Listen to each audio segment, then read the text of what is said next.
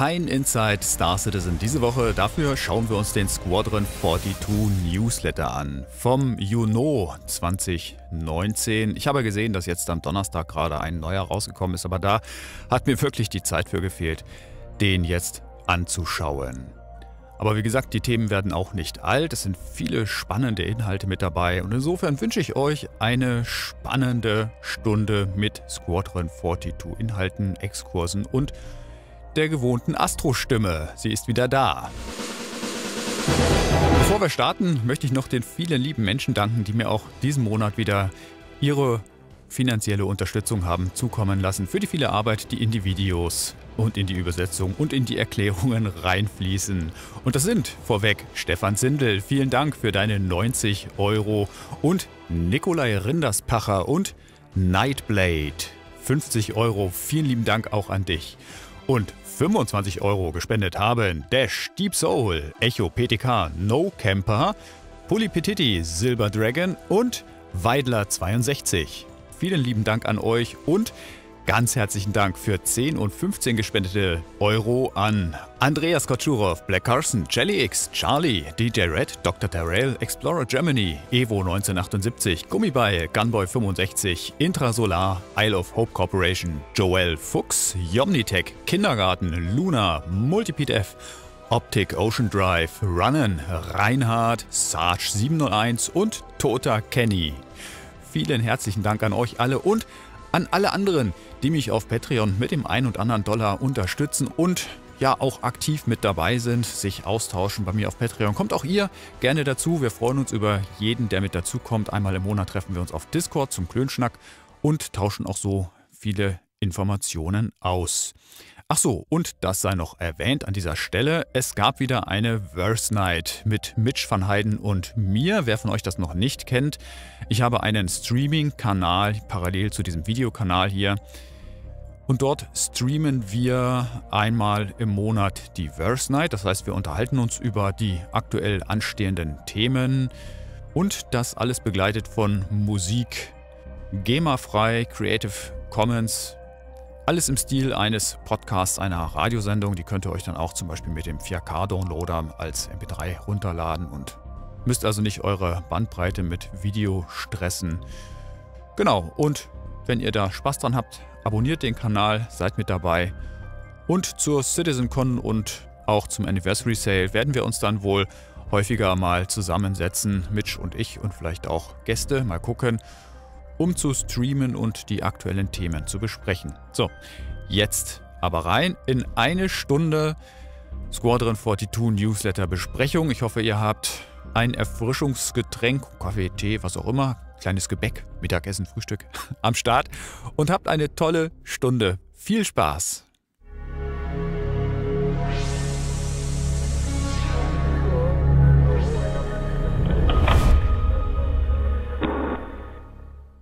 Das Team für die künstliche Intelligenz, das KI-Team, hat ein Projekt gestartet, um Bereiche hinzuzufügen, in denen Spieler und NPCs mit einem nutzbaren Gegenstand, sogenannten Usables, interagieren können, ohne dass sie sich dafür an einer exakten Position befinden müssen. Diese Bereiche ermöglichen eine höhere Flexibilität für den Fall, wenn in einem Raum mehrere nutzbare Objekte zur Verfügung stehen. Generell wird hinsichtlich des KI-Verhaltens viel optimiert, einschließlich der Weiterentwicklung und Feinabstimmung der FPS-Kampftaktiken. Dazu gehören der Kampf aus der Deckung, der Kampf im freien Raum, einfaches Suchverhalten und Verbesserung der ersten Reaktionen, also bei Sicht eines Feindes, eines Feindkontakts. Verbesserungen wurden auch am Haltungsmanagement vorgenommen, dem System, das während des Kampfes verwendet wird, um zu verstehen, ob ein KI-Gegner einen Spieler sehen kann und eine brauchbare Schusslinie hat, wenn der KI-NPC Schutz sucht. Das Animationsteam konzentrierte sich den ganzen Mai über auf das neue Spieler-Sprungsystem. Die Animationen sind jetzt wesentlich flüssiger und beinhalten das Vorwärts-, Rückwärts- und Seitwärtsspringen sowie das Laufen und Springen. Das Team hat auch die Einrichtung von Usables abgeschlossen, im Hinblick auf Betten, Sitze, Konsolen und so weiter und damit begonnen, ein prävisuelles System, also ein vor System zur Veranschaulichung von ja, visuellen Aspekten für verschiedene menschliche KI-Feindtypen und Waffensets zu entwickeln. Das Ausbrechen aus einer kompromittierten Deckung wurde erarbeitet und das Team hat an einem Plan gesessen mit dem Ziel, Datensätze für Animationsvarianten auszulagern, um die Entwicklungszeit besser priorisieren zu können. Weitere weibliche Animationssets sind derzeit in Entwicklung und werden nun immer simultan zu den männlichen Versionen bearbeitet oder erarbeitet. Aktuell startet das Team mit Basis Retargets von dem männlichen Quellcharaktermodell. Das bedeutet, dass in diesem Rahmen die Assets des Charaktermodells von dem männlichen Charakter durch das weibliche ersetzt werden und dann werden sie retarget, das heißt, sie werden auf das weibliche Rig, auf das weibliche Skelett entsprechend angepasst, das ja kleiner ist im Spiel als die männlichen Spielcharaktere. Nicht zuletzt arbeitete das Animationsteam an ein paar neuen Waffen und unterstützte das Feature Development Team bei Waffenaufsätzen, Nahkampf und sogenannten Takedowns, also dem Überwältigen von Gegnern. Das Team arbeitete auch hart daran, alle Geschichten, Filmsequenzen und Gesprächsabschnitte für zu integrieren. Und ja, das steht hier, redacted, also das, äh, da fehlt der entsprechende Inhalt und auch das folgende Zitat, angeblich aus dem Munde des Squadron 42 Animation Directors. Hoffentlich zensieren sie es diesmal nicht, denn die Szene, in der und zu gehen ist wirklich cool. Ja. Haben wir also keine Möglichkeit, das irgendwie zu verstehen, worum es da eigentlich geht. Weiter geht's zum Grafikdesign mit Ausrichtung Charaktere. Letzten Monat setzte das Character Art Team das Finalisieren der Charaktere fort mit Schwerpunkt auf Kapitel 4. Das Team setzte seine Forschungs- und Entwicklungsarbeiten an den außerirdischen Spezies fort, die in Squadron 42 auftauchen werden und arbeiten an der Materialbibliothek, die sich auf alle Rüstungen und Outfits im Spiel auswirken wird und es dem Team ermöglicht, die visuelle Qualität weiter zu steigern. Ebenso werden Werkzeuge für die Haarpipeline gebaut und getestet, um den Artists, den Grafikern zu helfen, qualitativ hochwertige Haare zu entwickeln. Da sind sie ja gerade ganz hart dran. Das Thema Haare weiterzuentwickeln. Die erste Iteration hat Chris Roberts überhaupt nicht gefallen und deswegen erarbeitet man jetzt eine neue Technologie, eine neue Haartech, Hairtech, damit das alles hübscher aussieht und gleichzeitig auch noch ressourcenschonender ist. Wie alles, was CIG an Werkzeugen für ihre Spielentwicklung erarbeitet. Weiter geht's zum Grafikdesign für das Environment, für die Spielumgebung. Das Environment-Team war den ganzen Mai über damit beschäftigt, die Skybox der Javelin zu entwickeln, bei der die gesamte Außenseite des Schiffes durchgearbeitet und in Teile zerlegt wurde, um die Push- und Pull-Mechanik, also die Schieben- und Ziehen-Mechanik, effizient nutzen zu können. Eine Skybox, das ist schon etwas recht Altes, etwas Bekanntes und wird in der Computerspielentwicklung für Umgebungen verwendet. Es ist eine Methode zum Erstellen von Hintergründen, um eine Computer- und Videospielebene größer wirken zu lassen, als sie tatsächlich ist. Wenn eine Skybox verwendet wird, eine Himmelsschachtel, ein Himmelskasten, wird die Ebene entsprechend der Quaderseiten aufgeteilt. Also das, was wir sehen, was um uns herum ist, vorne, hinten, links, rechts, oben und auch unten, das wird auf einen Würfel aufgeteilt, so wie ich das hier mal eingeblendet habe. Der Himmel, ferne Berge, ferne Gebäude und andere unerreichbare Objekte werden auf die Seiten des Würfels projiziert mit einer Technik, die als Cube Mapping bezeichnet wird. So Würfelkartierung kann man sagen. Und das erzeugt die Illusion einer entfernten dreidimensionalen Umgebung, die eigentlich gar nicht dreidimensional ist, sondern einfach eine zweidimensionale Tapete, die um uns herum aufgebaut ist. Diese Skyboxes, wie gesagt, die gibt es schon recht lange im Bereich der Computerspielentwicklung, werden aber auch sukzessive weiterentwickelt. Neuere Engines ermöglichen es der Skybox, sich in variierenden Geschwindigkeiten zu bewegen. Es gibt also auch die Möglichkeiten, diese Skyboxen ineinander zu verschachteln. Und da die Tiefe bei der vergleichenden Bewegung von Objekten wahrgenommen wird, führt eine langsamere Bewegung der Skybox im Hintergrund als der, zu der die halt weiter vorne steht, dazu, dass die Skybox im Hintergrund weit entfernt scheint, aber eben nicht unendlich weit entfernt ist. Es führt also zu einer besseren räumlichen Wahrnehmung. Diese Skyboxen sind übrigens der Grundbaustein zur Erstellung von einer virtuellen Realität, die wir eben mit diesen VR-Brillen dann nutzen können. Und auch ist es möglich, 3D-Geometrien darin einzubauen, eben wie unerreichbare Gebäude oder Berge. Aber was es nun damit auf sich hat, dass die Javelin in Skyboxen aufgeteilt wird, das hat mich stutzen lassen und da muss ich immer noch raten. Ja, und mitgeraten haben einige meiner Patrons, weil ich die Frage gestellt habe, warum wird die Javelin in Skyboxen aufgeteilt? Und an dieser Diskussion haben sich Kung Lee, Le Spatula und Tota Kenny beteiligt. Und Kung Lee hat als erstes die Vermutung geäußert, dass die Skyboxen doch auch für Reflexionen benutzt werden, Spiegelungen in Scheiben und so weiter. Und das war schon mal ein guter Hinweis. Ich bin dann darauf basierend mal auf die Unity-Seite gegangen und dort steht tatsächlich geschrieben, dass Skyboxen nicht mehr nur einfach eine Umgebungssimulation sind, eine Schachtel quasi, in der sich unser Spielbereich befindet und wir in einen auf eine Tapete quasi gucken, aber was dann für uns wirkt wie ein in der Unendlichkeit liegender Horizont. Berge, Himmel, Wolken. Sondern Skyboxen sind Wrapper. Das heißt wirklich kompakte Dateisektionen, in denen für einen definierten Spielbereich sämtliche relevanten Objekte und ich interpretiere das jetzt mal, vielleicht auch Shader hinterlegt sind. Ein Shader, das können wir jetzt auch nochmal kurz wiederholen, das ist ein Stück Code, Programmcode, der auf der GPU, auf der Grafikkarte ausgeführt wird. Die Engine füttert die GPU mit 3D-Modell-Eckpunkten, Texturen und anderen Informationen und erhält daraus Pixelfarben zurück. Mit Shadern, auf Deutsch Schattierer, lässt sich alles, was über statische Elemente wie Geometrie und Texturen hinausgeht, darstellen, also sämtliche dynamischen Effekte. Einen Spiegeleffekt auf dem Fenster etwa, Wellengang auf dem Meer, Echtzeitschatten oder eben sich bewegende Wolken, Nebel, Dunst. Für all das braucht man Shader. Und vielleicht ist die Javelin einfach so groß, dass man tatsächlich im Rahmen von solchen Skyboxen die Reflexion, die Schatten jetzt nicht alles in Echtzeit berechnen lässt, sondern das vorbereitet im Rahmen solcher Wrapper hinterlegt hat. Man kann nur spekulieren.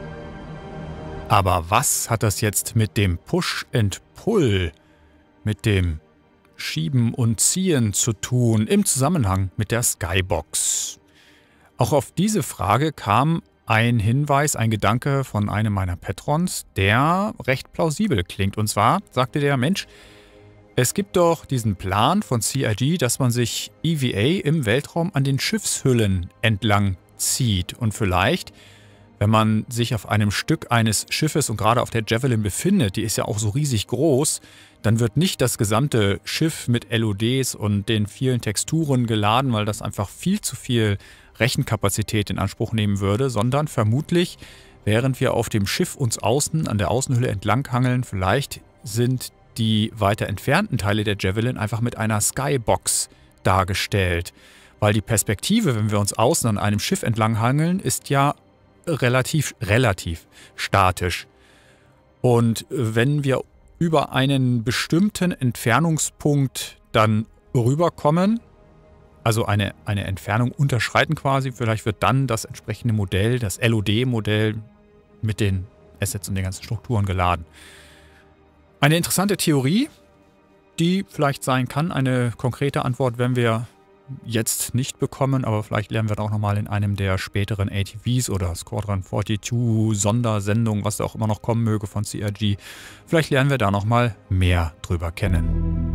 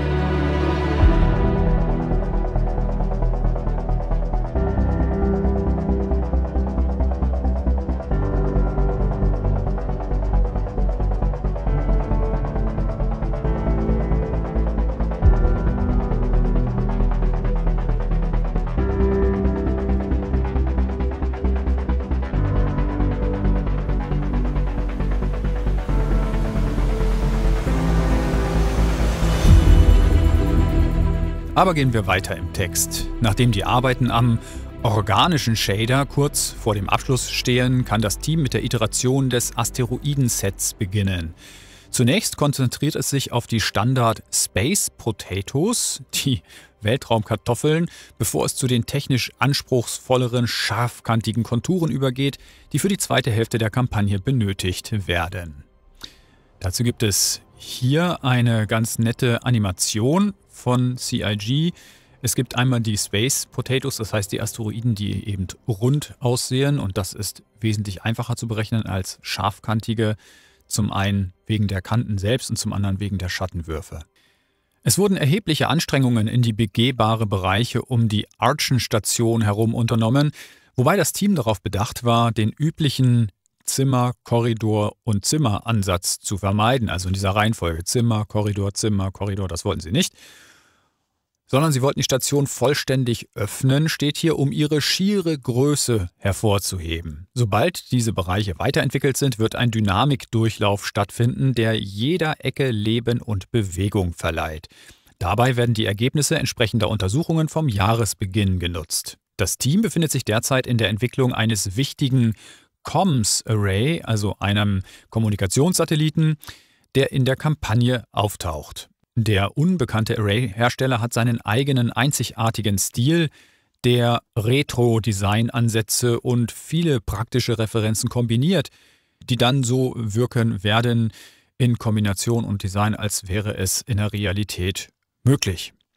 Die Arbeiten an der volumetrischen Skybox rund um den Coil, da haben wir jetzt die klassische Skybox, das heißt rund um den Coil, da gibt es irgendwo eine Grenze, wo wir nicht weiter können, sondern das ist dann einfach eine hübsche Tapete. Und die Arbeiten daran werden fortgesetzt, wobei insbesondere einer Mission große Aufmerksamkeit geschenkt wird.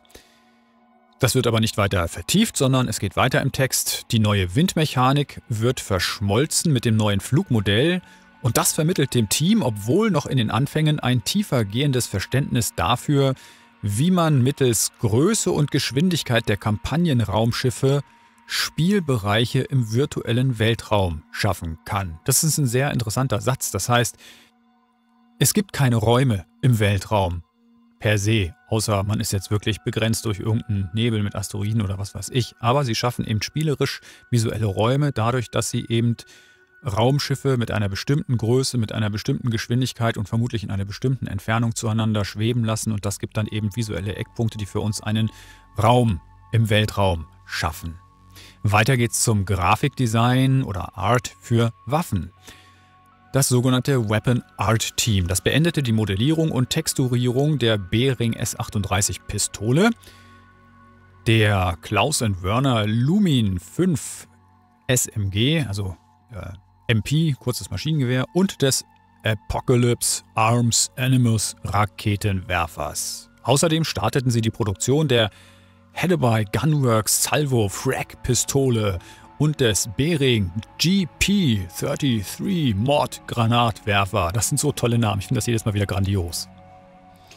Filmsequenzen.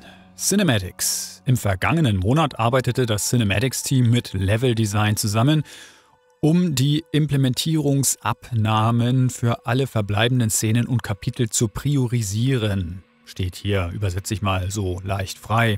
Solch eine Implementierungsabnahme bezieht sich auf den Prozess, eine Szene in den avisierten Zielzustand zu bringen und sie so funktionieren zu lassen, wie es in der endgültigen Version beabsichtigt ist und beinhaltet damit auch KI-Charaktere, die sich in oder aus diesen Standorten, diesen Spielbereichen bewegen.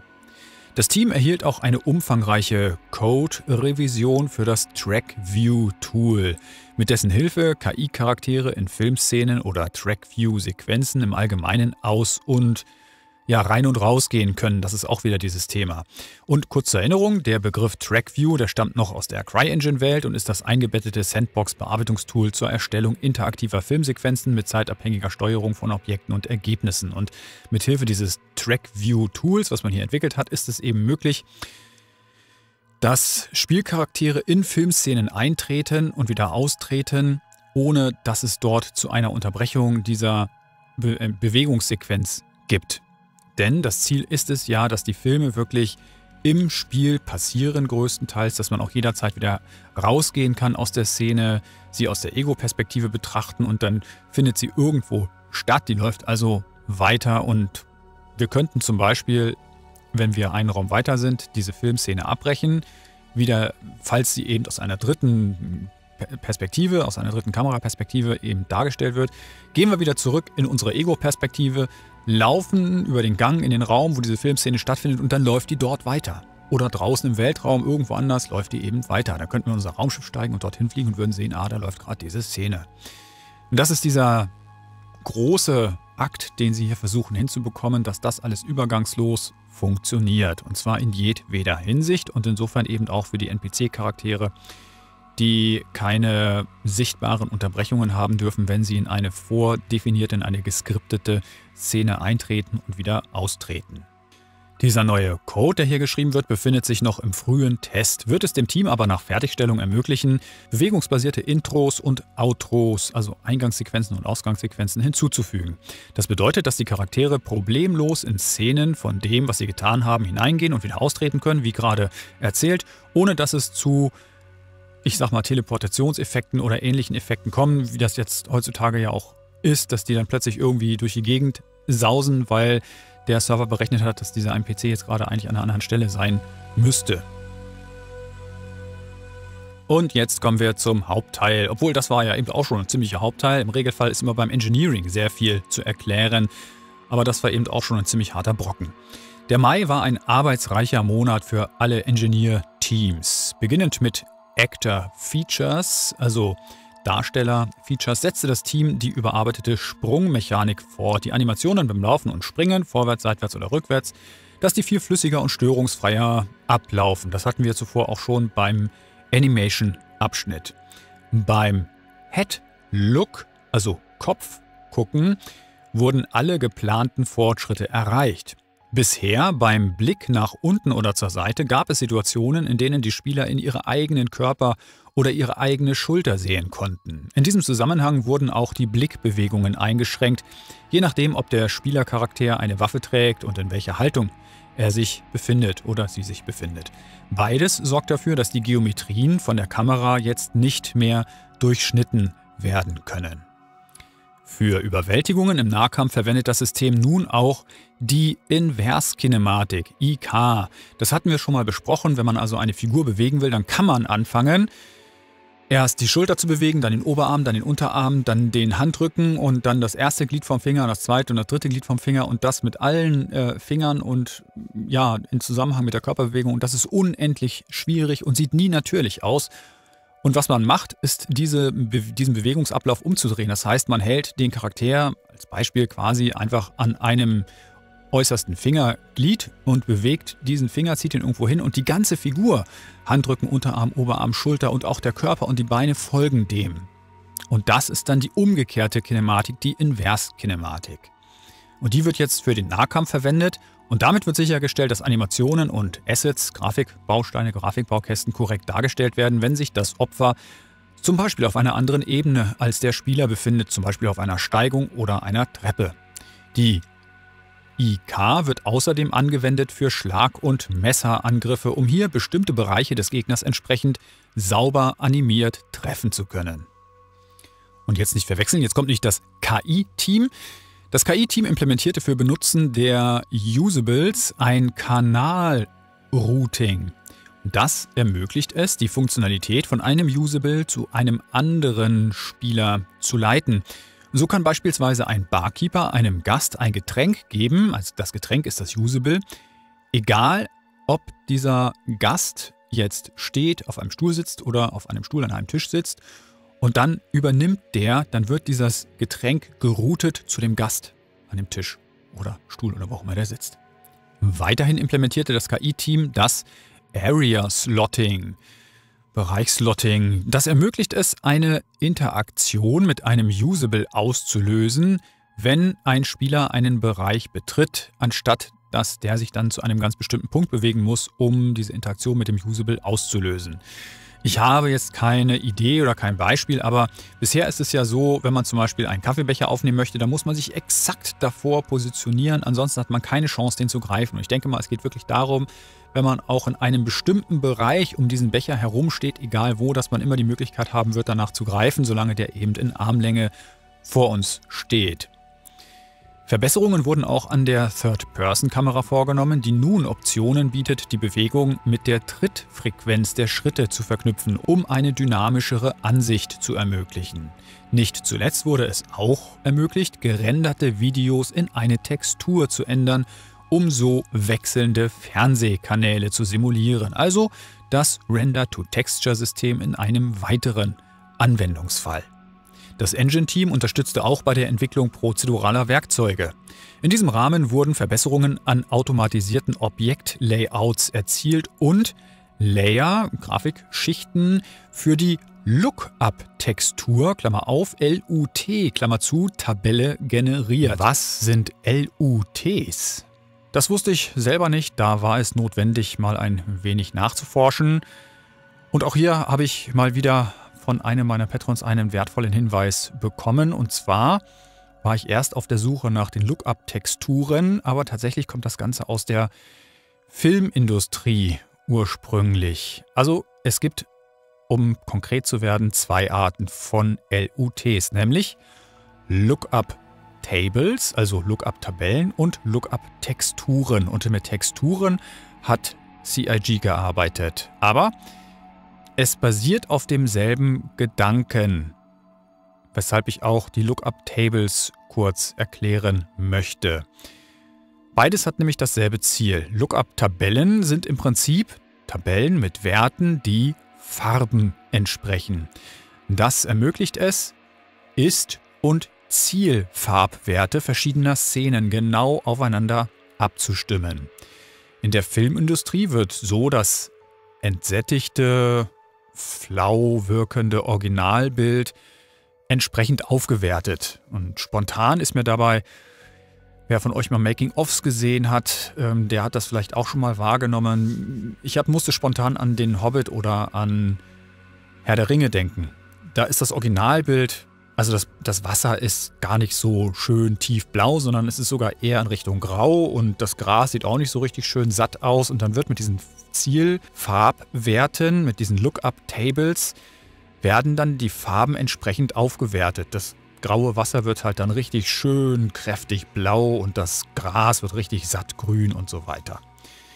In Computerspielen verwendet man keine Tables, sondern Texturen zur Optimierung des gewünschten Aussehens, also des gewünschten Looks. Anstatt die einzelnen Farbkanäle über Kurven wie bei den Farbkorrekturkurven zu optimieren, wird eine einzige Textur zur Erzeugung eines korrigierten Bildes verwendet und dieser sogenannte Lookup referenziert jeweils auf die Originalfarbe in bestimmten Vektoren, also in bestimmten Koordinaten dieser Textur. Und wird eine Textur dann darüber gelegt, gilt der jeweilige Vektor als Referenzwert und verändert damit das gesamte Aussehen eines Levels. Also genau wie beim Film, man hat hier halt eine Ausgangsfarbe einer Textur an einem bestimmten Punkt dieser Textur und wird dann die gleiche Textur darüber gelegt, nur mit anderen Farben. Dann weiß der Computer, aha, an diesem Vektor äh, verwende ich jetzt die Farbe XY. Also statt hellem Grün wähle ich jetzt dunkles Grün oder statt strahlendem Weiß äh, wähle ich jetzt einen eher goldfarbenen Ton. Und damit kann man das gesamte Aussehen eines Levels verändern ändern. Und dazu habe ich auf der Seite von Unreal, wo ich auch diese Informationen mir erlesen habe, habe ich ein hübsches Bild gefunden, hier mit einem Schieberegler. Den kann man dann von links nach rechts schieben und da sieht man dann genau, wie diese Texturen dann das Bild entsprechend verändern. Und mit solchen Lookup-Texturen hat CRG gearbeitet, beziehungsweise sie haben sie generiert, damit sie dann später im Spiel vermutlich, genau wie hier zu sehen, variabler sind in der Farbgestaltung, dass man vielleicht auch wir als Spieler die Möglichkeit haben, von kalten Farben zu warmen Farben zu wechseln und vielleicht ist das sogar dann eine Möglichkeit, dass wir auch unsere Raumschiffe entsprechend dann gestalten können. Dass wir sagen, so die Farbwerte in diesem Schiff hätte ich gerne etwas wärmer anstatt kalt oder eben umgekehrt. Das ist mein Verständnis, was ich mir so erlesen habe für die Lookup-Texturen. Ja, und die Vorteile dieser, also beider Methoden ist natürlich, dass man ganz, ganz schnell diese Farbumwandlungen durchführen kann mit vergleichsweise wenig Aufwand und man ein präzises Ergebnis erzielen kann zwischen den Ist-Werten und den Zielfarbwerten.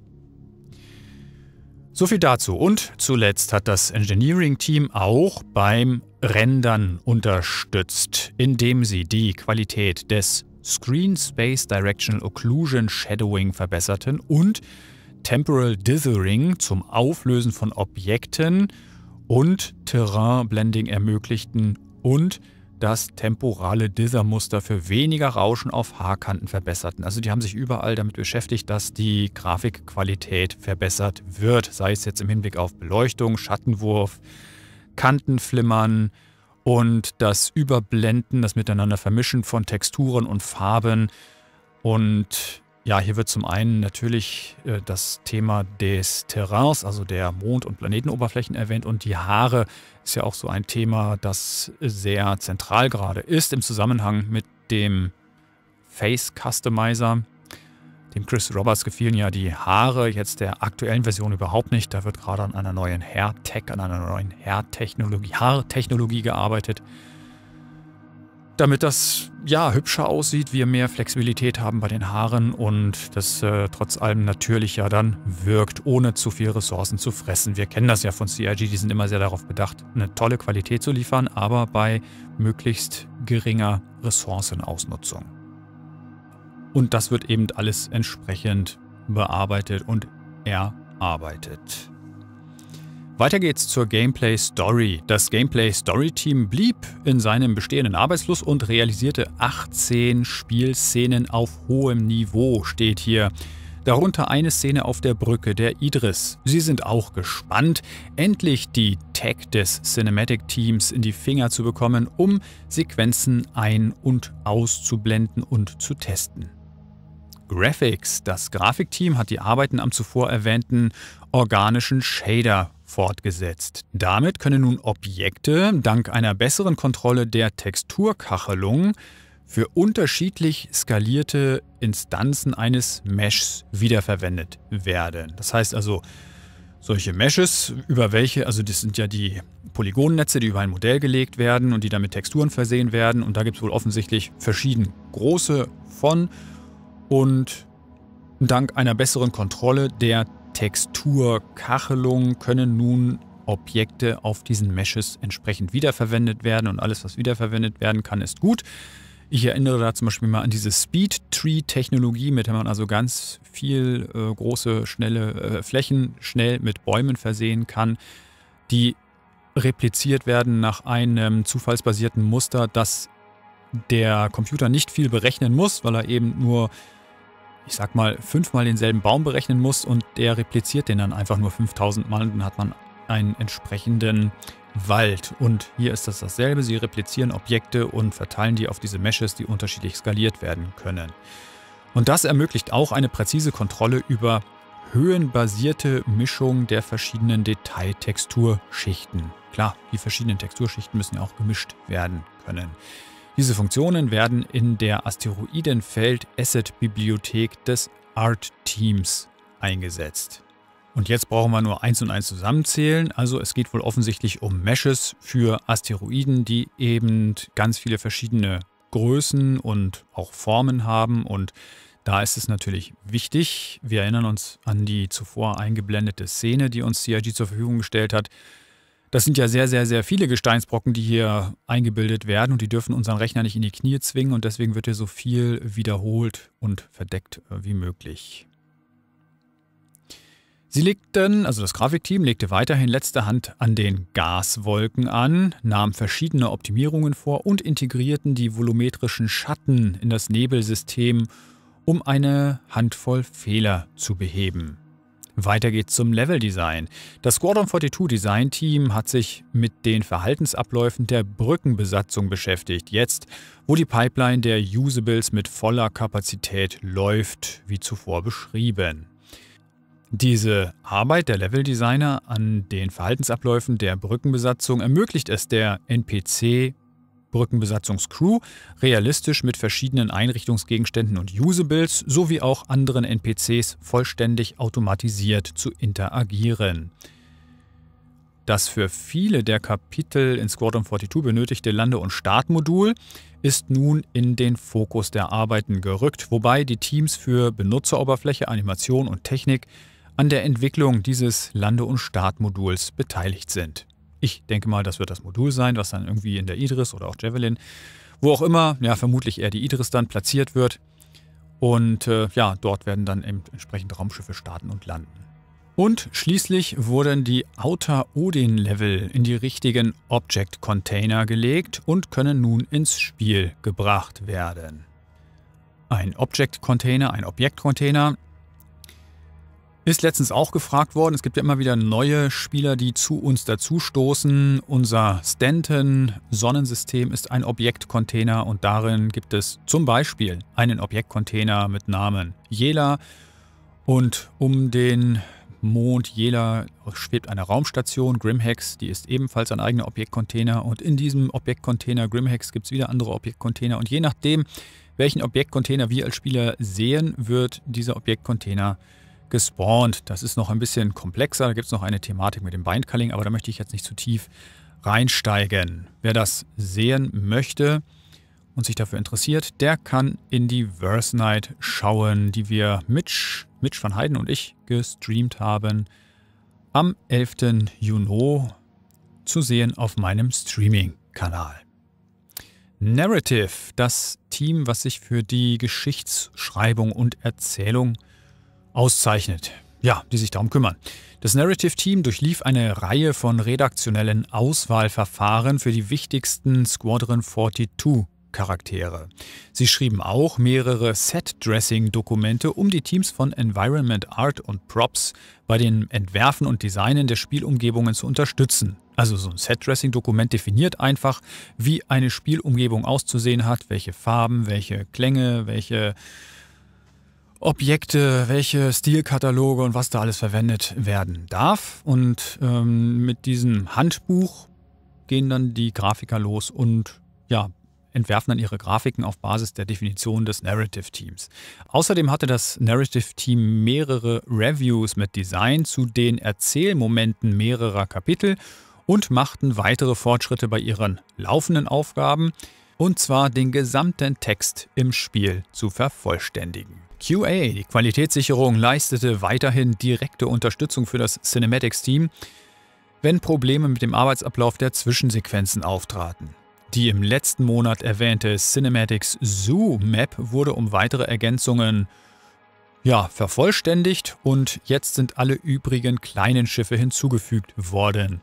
Diese Cinematics Zoo Map, das ist einfach eine, ein Zoo, eine begrenzte Karte, die man also rauslöst, damit man nicht in dem Spielbild, in der Game Engine selber die Filmsequenzen, die Cinematics entwerfen muss. Das ist nämlich beliebig komplex aufgrund der Größe und der ganzen Umgebungsbedingungen, sondern man hat so eine ganz kleine abgegrenzte Zoo-Karte, Zoo-Map, wo man dann eben herumspielen kann, um zu gucken, so wie sind die Einstellungen, wo ist Nebel, wo ist ein Stein, wo können wir welche Schiffe hinsetzen und wie wirkt das alles Genau, damit man ja viel ausprobieren kann und schnell zu einem visuellen Eindruck kommt, wie man am besten das dann in dem großen Level gestalten könnte, damit alles hübsch aussieht. Ja, und Qualitätssicherung arbeitet auch daran, zuverlässige Testebenen mit spezifischen TrackView-Funktionen zu erstellen. Schließlich werden diese Ebenen in die Testrunner-Funktionstests implementiert, die speziell für TrackView-Filmsequenzen entwickelt wurden. Änderungen, die innerhalb des Feature-Streams für die Kampf-KI vorgenommen wurden, wurden ebenfalls getestet, um sicherzustellen, dass bestehende Zwischensequenzen nicht beeinträchtigt werden, sobald sie in das Spiel übernommen, portiert werden.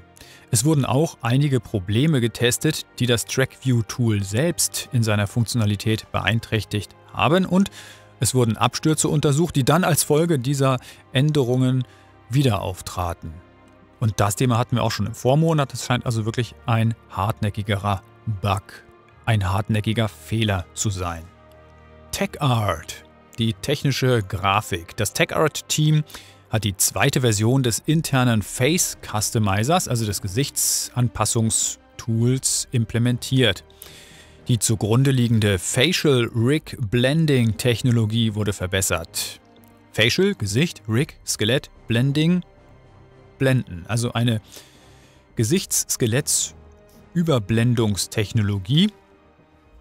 Und dieses Blending, das kennen wir alle, nämlich der Character Customizer. Da haben wir ja auch drei Köpfe und die können wir ineinander vermischen. Und diese drei Köpfe, die dieses Vermischen, das nennt man dann Blending. Die werden also entweder werden gewisse Dinge übereinander gelegt oder es werden eben Daten übereinander gelegt und dann miteinander ja, vermischt, geblendet. Blending.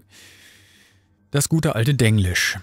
Und das hat das globale, das übergreifende Blending zwischen den vier verschiedenen Quellköpfen ermöglicht und auch eine unterschiedliche Auswahl von vier Köpfen für jeden der zwölf Blendbereiche. Also die Entwickler, die haben nicht nur drei Köpfe zum Überblenden, sondern die haben vier in ihrem Tool, was auch wesentlich komplexer ist als das, was wir Benutzer, Endverbraucher eben auf unserer Benutzeroberfläche haben. Während das neue Werkzeug, das neue Programm und seine Benutzeroberfläche all diese zusätzlichen Funktionen den Grafikern zur Verfügung gestellt werden muss, müssen, ist es auch wichtig, dass die User nicht von der Komplexität und der Vielzahl der verwendeten Parameter überfordert werden. Daher wurden eine Reihe von Komfortfunktionen hinzugefügt, die eine schnelle zufallsbasierte Durchmischung der Head-IDs und der entsprechenden prozentualen Gewichtungen entweder pro Kopfregion oder eben übergreifend ermöglichen. Head-ID, unser Customization-System für unsere Charaktere, basiert ja auf einem DNA- ähnlichen System. Das heißt, es werden ganz viele Zahlen erzeugt, aufsetzend auf diesem Seed-Gedanken und diese Zahlen repräsentieren dann das, was unser Kopf ist und diese Zahlen können ganz einfach hin und her transportiert, gesendet, gestreamt werden, verbrauchen nicht viel Speicherplatz, verbrauchen quasi keine Bandbreite und bringen eben als Ergebnis unsere individuell designten Köpfe zum Vorschein. Das ist eine richtig tolle, schlaue Technologie, mit Vorteilen, wie genannt, aber auch Nachteilen, weil Sie ja auch schon erzählt haben, dass Sie bei allen vielen positiven Effekten nicht die Möglichkeit haben, im Moment das Ganze noch mit Narben, also mit Tiefen- und Höheninformationen zu versehen, weil das das ID-System nicht hergibt, dieses DNA-System. Aber andere Baustelle. In jeder Phase der Gesichtsanpassung können die Symmetriebeschränkungen deaktiviert werden, um eine leichte Asymmetrie in verschiedenen Regionen des Gesichtes zu erzeugen, was dazu beiträgt, dass ein Gesicht natürlicher und realistischer wirkt. Denn es gibt keine, oder ich wüsste es jetzt nicht, aber ich glaube, jedes Gesicht hat immer irgendwo leichte Asymmetrien. Es gibt kein vollständig symmetrisches Gesicht. Dieses Werkzeug, dieses Programm macht es dem Team nun viel einfacher, einzigartig aussehende NPCs zu erstellen und ist dabei effizienter als je zuvor. Tech Animation, technische Animation, setzte seine Arbeit an der Animationspipeline fort, um eine umfassende Überarbeitung des zentralen Referenzsystems von Maya zu ermöglichen. Maya ist nicht die Biene Maya, sondern das 3D-Modellierungswerkzeug, sehr mächtig, sehr bekannt, mit dem CRG seine Modelle erzeugt. Dies wird letztlich eine Pipeline liefern, die nicht auf harte Pfadreferenzen angewiesen ist und somit auf unendliche Arbeitsbereiche und Streams über die gesamte Animationspipeline hinweg zugreifen kann. Also hier geht es um die Dateireferenzierung, so verstehe ich das, dass man also nicht unendlich lange, tiefe Dateipfade hat, sondern in irgendeiner Art und Weise ein dynamisch gestaltetes System und damit, ja, wie Sie hier schreiben, unendliche Arbeitsbereiche nutzen kann. Das Team ist weiterhin dabei, die Codebasis und die Plugins der Animationspipeline zu aktualisieren, um Maya im Jahr 2019, also in diesem laufenden Jahr, für ein mögliches zukünftiges Upgrade vorzubereiten. Tech Animation arbeitet eng mit Tech Art zusammen, um eine neue Gesichtsanimations- und Rigging-Pipeline zu entwickeln, die ein neues Maß an Flexibilität und Treue zu einer bereits hochmodernen Lösung bietet. Steht hier, wirklich. Darüber hinaus waren die Animators, die Animationskolleginnen und Kollegen über viele Teams verteilt, um bei der Entwicklung von Kampf-, Waffen-, Gebrauchsgegenständen und Filmsequenzen zu unterstützen. Und weiter geht's zum Team für UI, für die Benutzeroberfläche. Beziehungsweise über die, ja, für die Oberflächengestaltung, sagen wir es mal so. Im vergangenen Monat konzentrierte sich das Squadron 42 UI-Team auf Archen. Logos und Schilder wurden entworfen, um die Ebene wie eine Industrieanlage erscheinen zu lassen und auch Hintergrundbilder für Maschinen und den Brückenbereich wurden händisch erstellt. Squadron 42 wird auch von den laufenden Entwicklungen zum zentralen Flug HUD Head-Up-Display profitieren. Dazu gehören Indikatoren für Geschwindigkeit, G-Kraft, Nachbrenner, ESP und einige neue Mechaniken wie der Schubkraftbegrenzer und der Radar-Höhenmesser. Einen ersten Eindruck von dem Ergebnis dieser Arbeiten können sich die Spieler ab Alpha 3.6 des Star Citizen Persistent Universe holen, da das HUD ab diesem Patch zum ersten Mal in der Aegis Gladius getestet wird. Und zuletzt das VFX, das Team für die visuellen Effekte. Im vergangenen Monat hat sich das Team mit der Untersuchung neuer Shader beschäftigt bzw. hat die Arbeiten daran fortgesetzt, darunter Tests auf Wasser- und Regentropfen, die sich auf Schiffsüberdachungen ansammeln. Und sie haben sich auch den Partikel-Imposter-Shader vorgenommen und den verbessert, der einfache, aber effektive UV-Scroll, Kachel- und Verzerrungsoptionen bietet und einem Mesh als Ersatz für ein Partikelsystem zugewiesen werden kann. Über das Thema UVs haben wir schon einige Male gesprochen. Das ist wie die XY-Koordinate, nur dass XU ist und YV. Und das ist die Referenz, um Polygonnetze basierend auf einem 3D-Modell so hinzuzupfen, dass alles vernünftig ja, wirkt und, und eben nicht krude ist, diese UV-Arbeit, das wirklich äh, exakte Ausrichten eines Meshes ist sehr, sehr, sehr wichtig. Eine der wichtigsten Arbeiten und unglaublich langweilig, habe ich mir erlesen. Wird nicht gerne gemacht, aber muss eben gemacht werden.